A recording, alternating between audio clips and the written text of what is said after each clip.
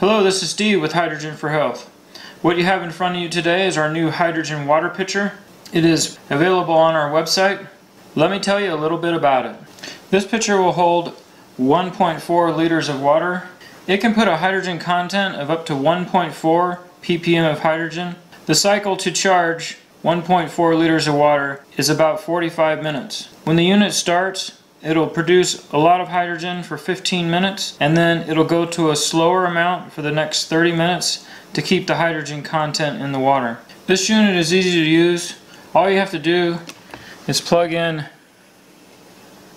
your power cord to the base and then plug the base into a power outlet and you're ready to go. This pitcher does not use any batteries. It's meant to sit on a countertop in a kitchen or in an office. On the top of it has a nice little top with some grooves for the water to come through. That way you can keep the top on while you're pouring the water. The pitcher can be lifted off of its base and you can pour yourself a glass of water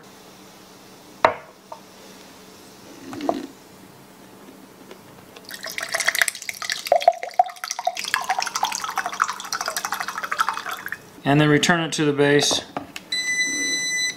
at any time. Very simple to use. Just fill the water up as far as you want, put the top on and set it on the base. Then you'll wait the 15 to 30 minutes and then your water is ready to drink.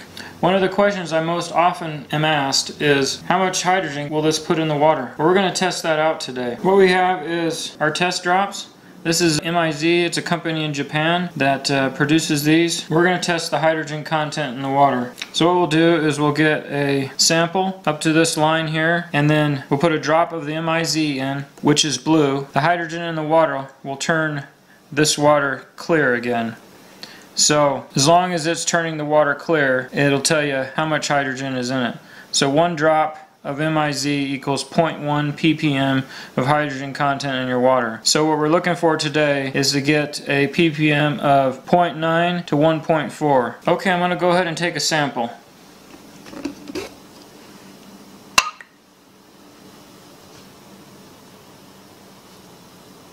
I want to fill it up to the line.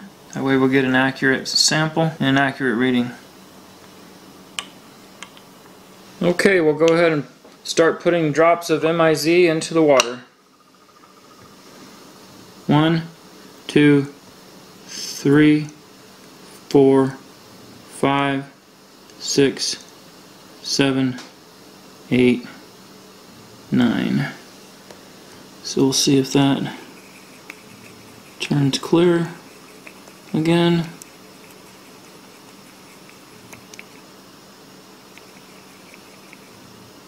And it does. Put another one in. That's 10. So this is saying we have 1.0 ppm of hydrogen content in the water. Looks like it's clearing it up again. Now one more, which will be 11.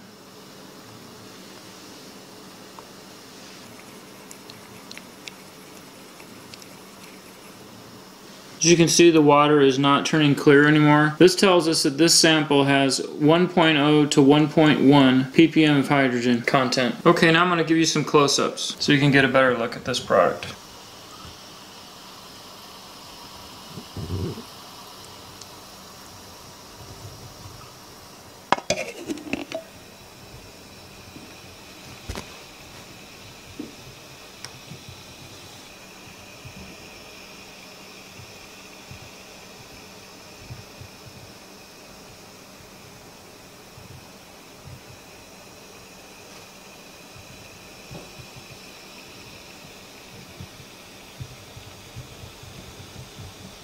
Okay, some of you might want to see an ORP reading, so we're going to go ahead and take that now. The equipment I'm going to use today is made by Milwaukee.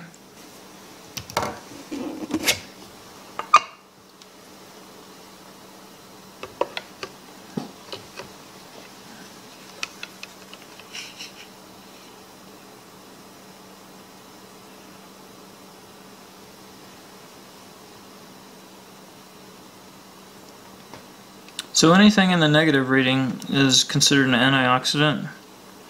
Anything in the positive reading considered an oxidant. We should be able to get negative 300 to negative 400 ORP with this product.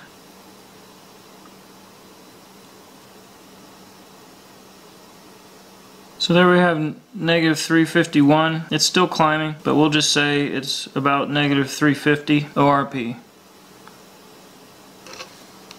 This product uses PEM dual chamber technology, and I'll explain to you what that is. PEM stands for proton exchange membrane. That's the barrier that's in between the positive and negative plate in the bottom of this that separates the hydrogen and oxygen from each other. So this membrane puts a barrier in between the hydrogen and oxygen that's produced in the hydrogen generator in the bottom of the pitcher. On the negative side of the plate, it generates hydrogen. On the positive side, it generates oxygen. The, only the hydrogen is put into your water. That way you can get very high ppm hydrogen content. The bottom here has a small hole. This is where the oxygen escapes.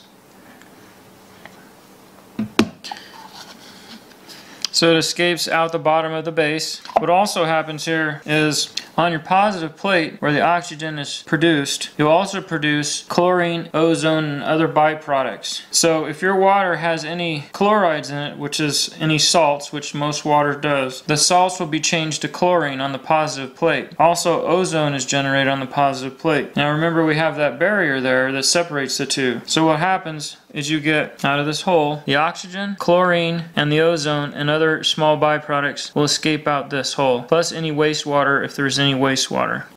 Which will collect in this base here. That makes the water very healthy to drink. Doesn't have any byproducts. All you get is clean, hydrogen-rich drinking water from this product.